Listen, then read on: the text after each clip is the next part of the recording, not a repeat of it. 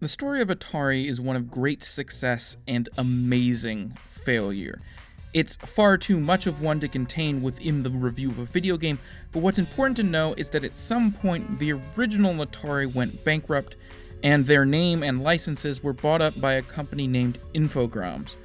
Of course, that immediately led to this new Atari making a ton of games using those licenses. They started off by releasing some collections, ports of the most popular old school Atari games, but eventually they moved on to remakes. In general, I tend to not like the remakes they release. They fix things that didn't necessarily need to be fixed, and they do so in a way that actively makes them worse, and often turns them into a different kind of game entirely. But Pong, the next level, actually manages to improve on the Pong concept, adding things onto it without compromising what makes it so fun. There are definitely levels here and there that completely miss the point, but I'd rather a game take as many shots as this one does and miss a few, than just take one or two, put everything into those shots, and miss completely. So, what exactly does the next level do to improve Pong? Now, obviously, step one is to make it look more modern. Of course, this is a PS1 game, so it could be argued that it looks worse than the original Pong at this point, but it's just cartoonish enough to still hold up despite the PlayStation's lack of graphical prowess. The next step is tweaking mechanics. And for most of the game, the next level manages to layer on new mechanics without resorting to breaking the foundation. Each stage has a different conceit. One might have you in a soccer match with two paddles instead of one. Another might add more balls into the mix every time you hit a penguin. But the point is always to get the ball into your opponent's goal. Uh, sometimes, however, the game does break from this. It tries to create these weird mini games using the very basic idea of paddles and a ball.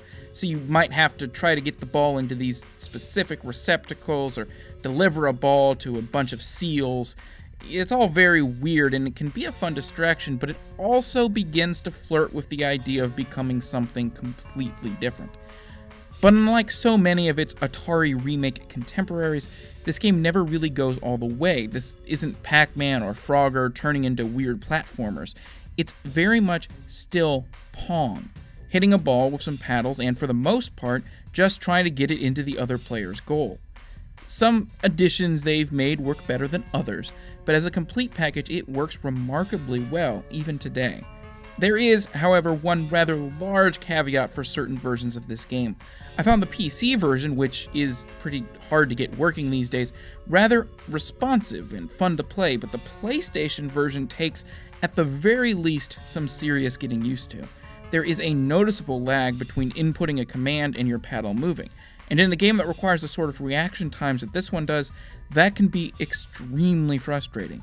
Add to that the fact that the ball would often clip through the paddle, even when it seemed pretty clear that it would bounce off, and you have a game that can be a real nightmare to play at times.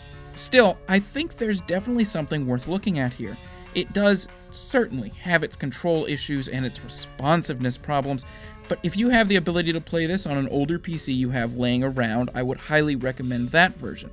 But even if you don't, I think it's still worth checking out a few levels or as far as you can get without wanting to destroy your PlayStation if you have the patience to do so, because this game is a demonstration of how to remake a game that is as old as video games are.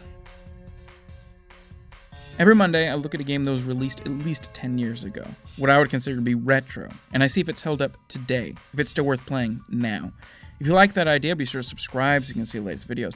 If you like this video in particular, be sure to hit that like button, and thanks for watching.